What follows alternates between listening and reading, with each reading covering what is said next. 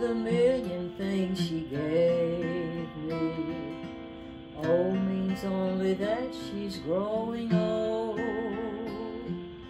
T is for the tears she shed to save me. H is for her heart as pure as gold.